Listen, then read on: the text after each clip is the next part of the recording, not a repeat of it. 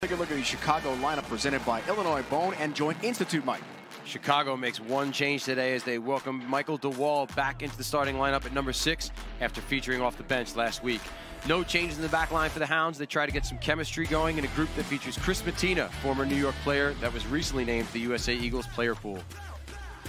Coach Sam Harris makes a few changes to his forward reserves in Stevens, Krishnan, and then Kumbua. He keeps the same backs and their good ones. Baska, Campbell, and Eloff have all played for the USA Eagles. Now for the New York starting lineup presented by Mainfreight. After a dominant performance last week, the Ironworkers go with an unchanged pack. Exciting news, though, is that numbers one through four, Wenglewski, Fawcett, Geiger, and Brakely, all were named in the USA Players Pool. So half their forwards were in the USA Player Pool. Tells you how grouped that is. The only change in the starting lineup is an inside center. Canadian international star Quinn Ngawati suits up at number 12, just outside last week's MLR Player of the Week, Jason Emery. On the bench, Head coach James Semple makes one change and adds some power up front with Anthony Parry at number 17. So New York looking to maintain continuity today and build off their big win from last week. The broadcast today, and such a game breaker. Fawcett, the hooker. Aqui makes a clean catch. We'll see about the set piece. Now the maul, the line out. Fawcett has it at the back of the maul. Driving toward the try line, still has it. Dylan Fawcett looks for five, getting toward the line. Derek Summers, arm in the air. It's a try for New York.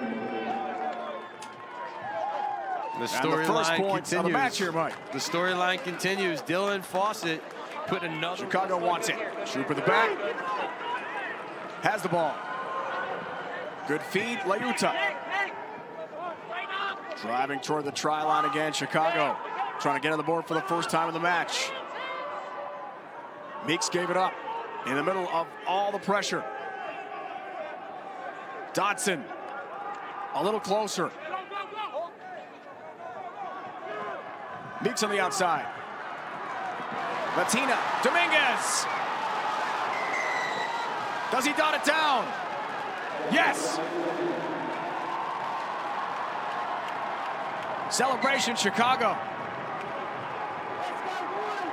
And some fireworks afterwards as well. It continues. I like what Chicago's doing. They keep that ball in tight, and then they open it up out wide, and you could see the energy and the enthusiasm there with Shoop. He's fired up, and there's Dominguez. He was one of the players we talked about to keep an eye on. But this ball is thrown into space, and that's, oh, that, oh, that, wow. That's a, that's Feeks coming across, goes high on Dominguez as well. So, yeah, Rob, thanks so much. Good update. Penalties certainly important. Meakes in traffic, trying to find the handle. Taken right back by Jason Emery and a whistle. So the penalties conceded at 6-2. For three. Penalty kick. Flags up. And three more for Chicago. Five, a mountain of a man. Chicago gains more territory for Carney. Intercepted, but a whistle for two. First one from 40. This one is easy. Flags are up. Three more. Right back to Chicago. Cameron Dodson. Second row, left lock. Shoot for Patty Ryan. Mattina. Lerone White gets physical himself. Wow, what a hit with Kara Pryor. He trucks right over him, steamrolls. Really makes the captain. Chips the head, looks looking for White. Dominguez on a bounce, finds it. Dominguez, think about a second try. Got speed, got room. Got five. those hounds is right. What an option here from Billy Meakes. We've seen it all afternoon. They've clearly identified something in behind that New York defense. They blitz hard. They're really strong in the midfield. There's space in behind. That one dribbles up perfectly for Dominguez. But look at that. That's three, maybe four white jerseys on scene that can a little bit outmatched. That's what you need to do. You need to get in their face, and Chicago has done exactly that. Buckley, successful for Hardacre. With a good pass, back for Buckley. To the outside, here's Coe. There's a try for New York.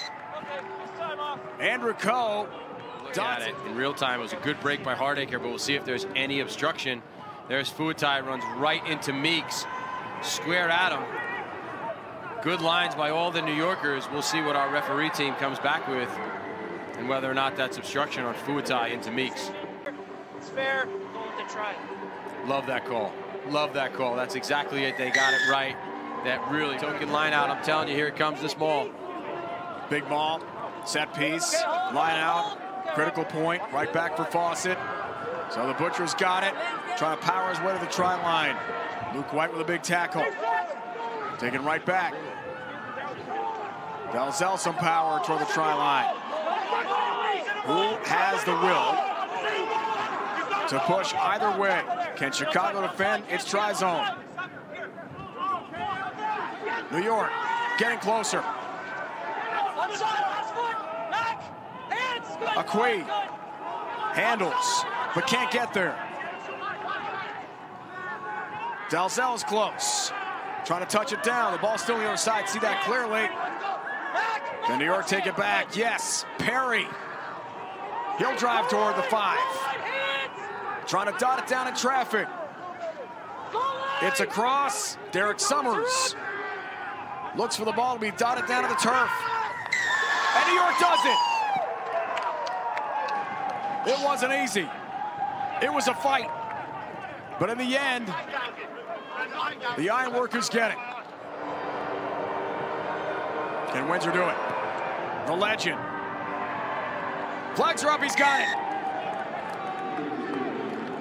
Plus two for New York. Punches up in the midfield and then drops Carty into the pocket for an attempt at a drop goal to win the game. Big set piece, big line outs, taken back by New York, at least the whistle. With everything on the line, Carty off the post, hits the post, it's no good.